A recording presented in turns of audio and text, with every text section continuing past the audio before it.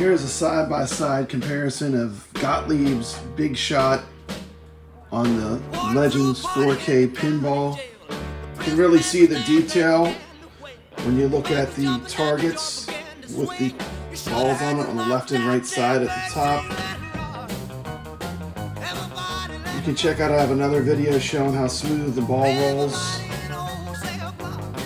Little side-by-side -side comparison, literally right next to each other. Tell me what you think.